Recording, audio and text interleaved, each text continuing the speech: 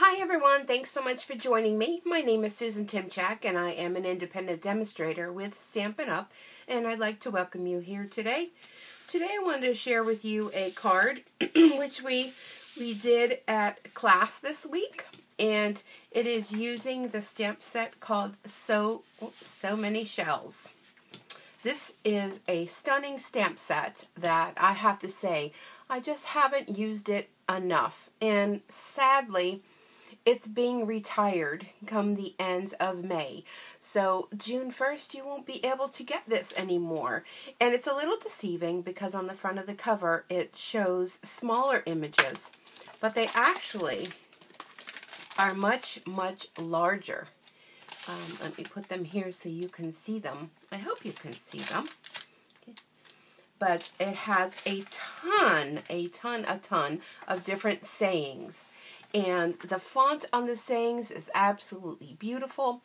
And yeah, sadly, I'm going to have to say goodbye to it. But you still can get it. You'll still be able to get um, Stampin' Up! stamps through about the last week in May because we do make our own stamps. So if in the event they do have a total rush on them, they'll be able to to make them up. But once the catalog, the current catalog is done, then it'll be gone and it'll be done.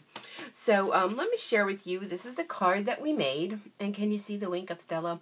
I always tell everybody at all my events, Stella comes to every party. I'm trying to get it where it'll show, there you go. You can see that shimmer on there. And I went a little Stella happy, but that's okay. so let me show you how um, I created this. And I have my iPhone my iPad hooked up a little bit differently, so I have to remember I'm over here. So let me just move my chair over here. And um, here we go. All right, so now the base of our card is going to be Tempting Turquoise, which, yeah, this is going to be leaving too. So that'll be our base of our card. We have a piece of crumb cake, which is four um, by five and a quarter.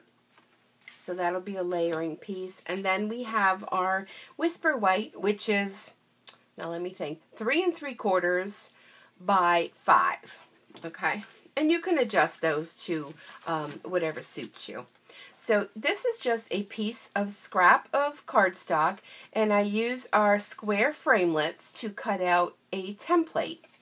So this is going to get put on the top of our white cardstock. And this will all make sense to you in a minute. And this is what's going to create a little, um, a template over it to do a masking technique. So what I'm doing here is I'm going to grab some of this washi.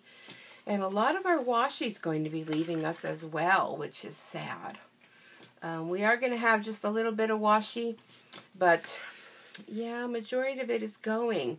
So you'll want to make sure, check out the retirement list, head on over to my online store, and um, check out what's going, and be sure to get it before it's gone.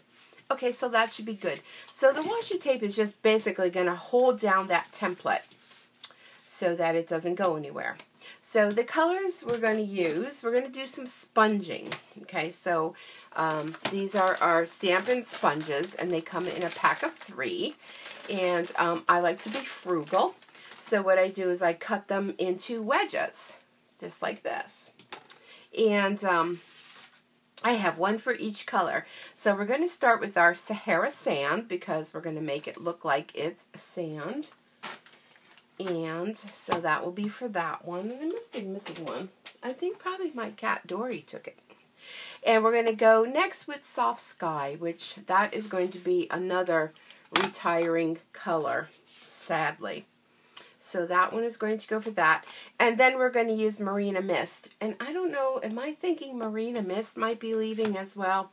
I'll have to check. I kind of haven't really gone through the inks quite yet to see what's staying and what's going. So we're going to start with the Sahara Sand and our sponge. I'm going to kind of pounce off a little bit because we don't want it to have like a stark boom like that when you go to, um, to do this sponging technique. So I'm kind of holding my little template down. and doing my little sponging. All right, that looks good. Let me move that out of the way. So let's go with our next color, which is the soft sky. All right, we're going to do the same thing, pounce off a little bit.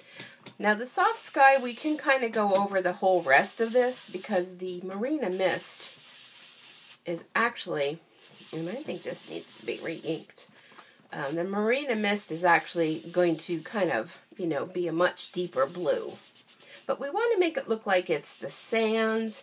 And then, you know, how when you first go into the ocean, it's a little bit, you know, uh, lighter.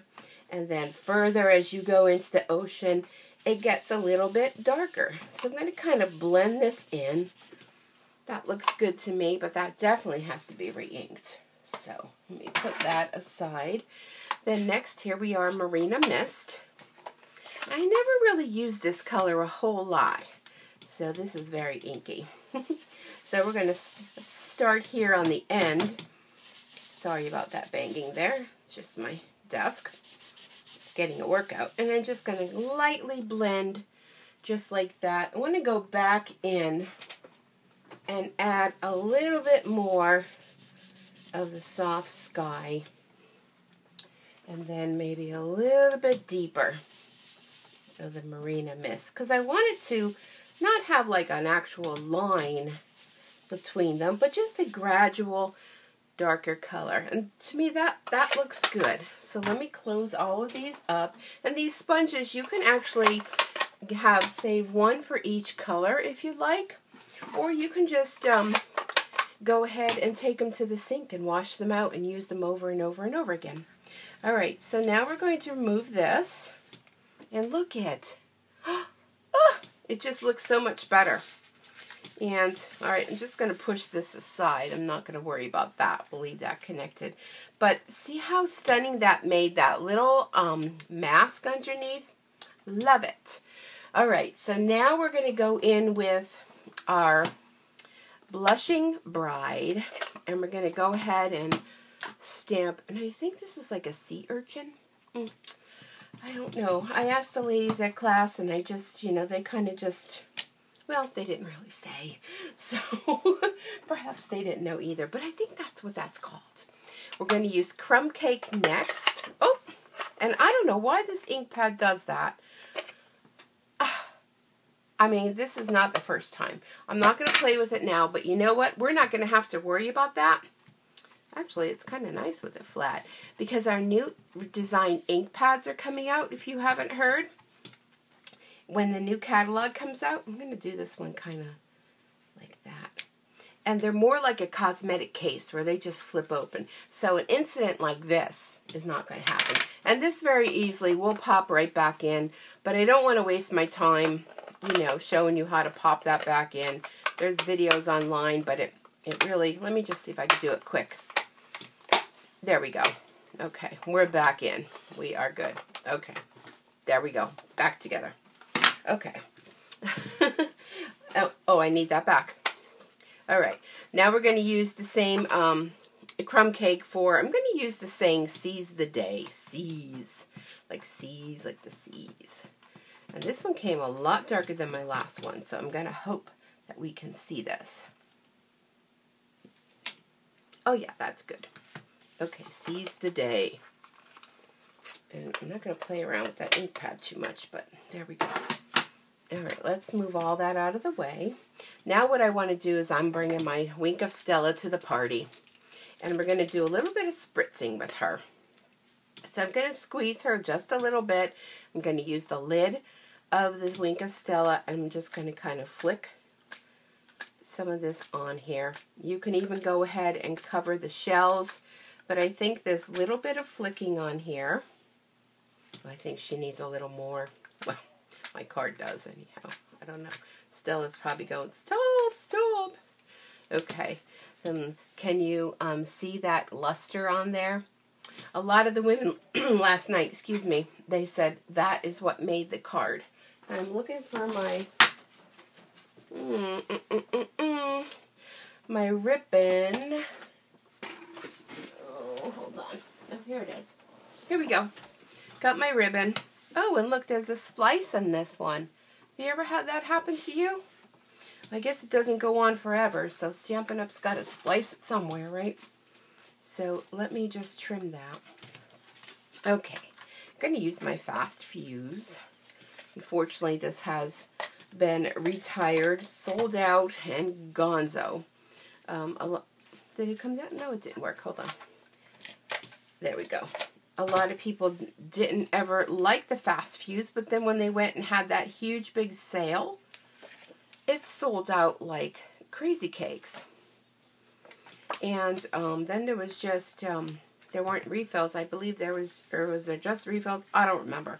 But then there were just um, some left in stock, and well, now it's been exhausted. So it's kind of like, you know what happens when things retire? It's like things have kind of been around, and then as soon as people hear that things are going to be gone, it's like panic strikes. So there we go. We just did a little faux bow, just wrapping it around, taking another piece and tying it on. And then let's just put our card together. So um, Fast Fuse really is was a great glue, tape runner, and I'm going to miss it. But we still have our snail and we have our tear and tape and we, you know, we still have our liquid glue. Little ribbon there is giving me a little botchy botchy there.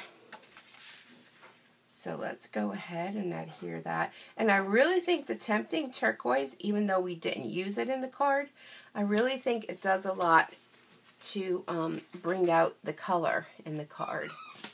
So here we go. Here was this card, and then this card, and then this was my sample card, but I think from being on the table at class, it kind of got a little zhuzh on it. But there is that one. Move these as well. So, yeah. I think it's a stunning card. And look at the difference in the different um, colors. Whether you go a little deeper, a little lighter. You know, it's totally up to you. So if you're interested in this So Many Shells, it's a photopolymer stamp set, and it does have 18 stamps in it. Head on over to my online store and be sure to pick it up over at stampinsuecreates.stampinup.net. And with a $50 purchase now through, um, well, pretty much this weekend, and use the host code that's there, and you will qualify to get a pack of the iridescent sequins, which I will send to you in May. Look how stunning. It'd be nice to add a couple of those on there. You will get them as a thank you gift from me in May. So thank you so much for joining me. I hope you have a super stampin' day, and I look forward to seeing you back here again real soon. Bye for now.